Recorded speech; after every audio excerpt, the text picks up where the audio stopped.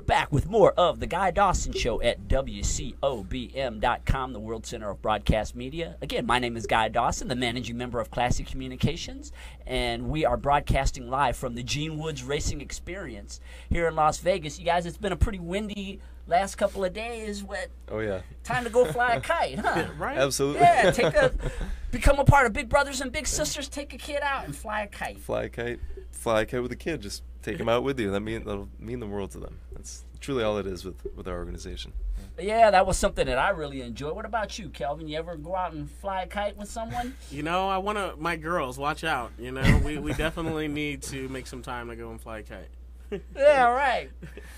Outstanding time. I had one of my best experiences with my son. He's 15 years old right now, but he was around four, and it was the one time in all these years that we actually got together and went and flew, fly, uh, flew a kite. And you know, when a kid is four years old, everything is just a wonder to them. So he Oh, was yeah. trying to figure out how does the kite go up in the air, and how do you keep it up there? Right.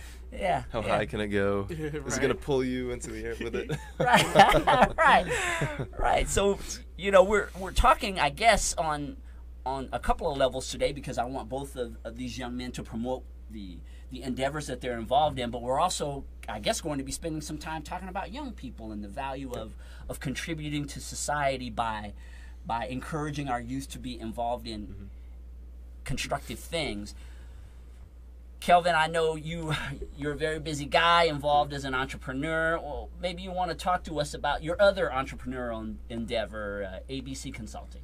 Um, well, uh, like like you said, Guy, uh, I am the owner of ABC Consulting, and we specialize in digital marketing and helping business owners connect to their customers. And now with the Cheer Gym, we've been running that uh, close to eight years, our own uh, facility and our own program. And I know as a small business owner, I needed to do a lot of email marketing and social media marketing and getting the word out there, especially with a business like a gym where we need clients on a daily basis and we need them to repeat.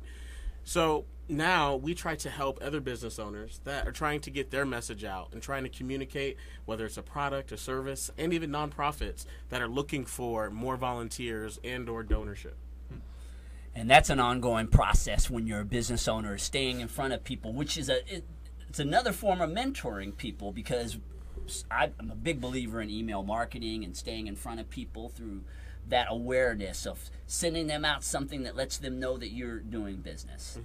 And I agree. And that's the biggest thing. I think we call it top of mind. And um, whether it's email marketing, whether it's social media, you just want to make sure you stay top of mind. And uh, if there's any business owners out there, um, don't be scared of social media or the digital world. Um, I I think the time that you're going to invest is going to be worth the return that you're going to receive and new customers, branding, and, and hopefully just an overall better business. I agree with with Kelvin completely, and really, it's just a matter of being committed to to your marketing.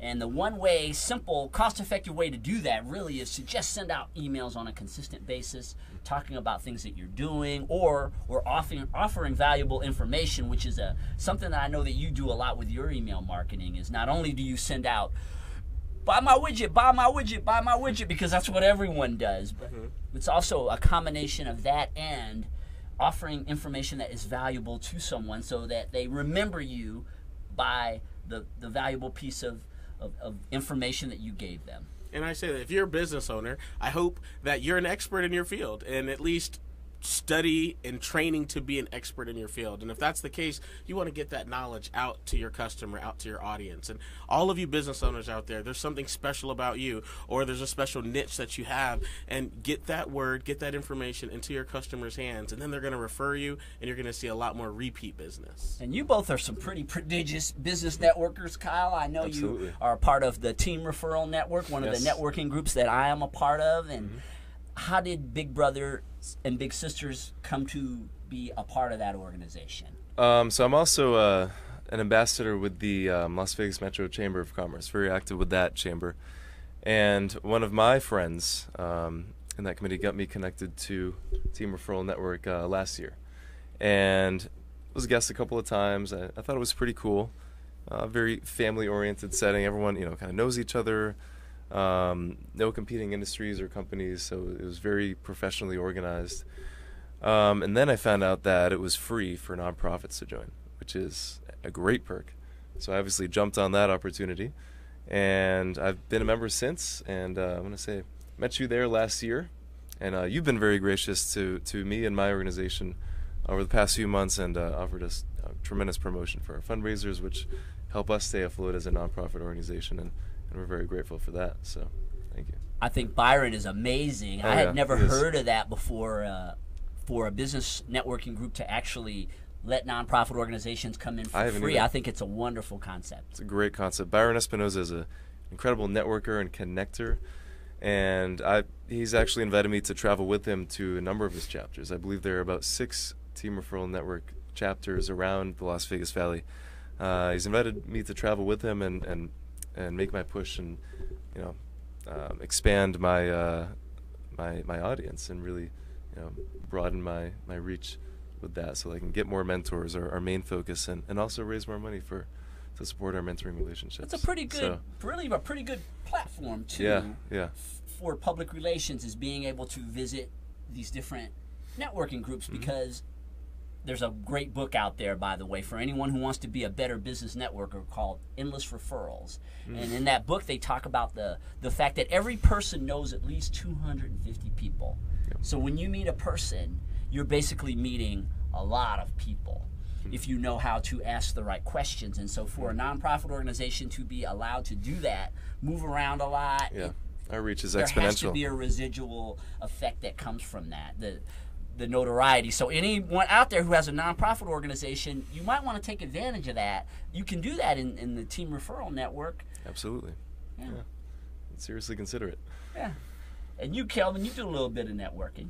I do a little bit of networking, and I definitely More than a little bit of networking. right? And I think the biggest thing about networking is making valuable relationships, and it's not just meeting people or, or collecting a business card, because that, that that's horrible when you just go out there and you have all these business cards, but you've never followed up, you've never, you know, liked them on social media, and and you never attend any of their events, or so you want to make connections, but make sure they're valuable, especially if you're going to take the time to network.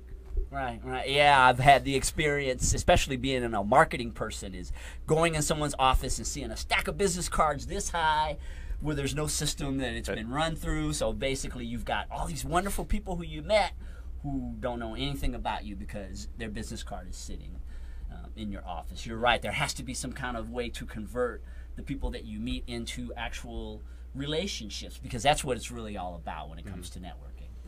Absolutely, and, that, and that's the the beauty of you know smaller, uh, more focused networking groups like Team Referral Network because it's it's not as large as you know maybe a, a mixer you may go to which, which are great in their own right. You may meet hundred people over the course of a night or or an afternoon, um, but at Team Referral Network you see the same people over and over every single week. Every for us every Tuesday morning, and um, you know we truly get validation um, just because we're able to, to learn each other's business inside and out and hear our 60 second commercial, each other's commercials every single week, um, and truly be able to refer our colleagues and our partners as as if they're a part of our own sales team.